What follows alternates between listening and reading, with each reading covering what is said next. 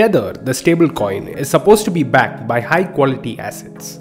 So, why has it been facing a lot of volatility lately? More worryingly, why is it well below the dollar in value? This is a problem with the concept called indirect convertibility. Convertibility refers to how easily a currency or asset can be exchanged for something else. So, a US dollar is highly convertible. You won't have any problems exchanging it for something. So is gold. On the other hand, a Cuban peso is less convertible and is effectively restricted to within its domestic borders. Indirect convertibility introduces an additional middle step. Let's say you have an asset that is pegged at $1, but instead of redeeming it for dollars, you redeem it for gold bars equal to $1. What is the problem with this?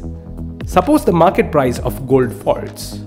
Now you have to make your dollar worth more gold bars your peg price and the market value of gold are in conflict.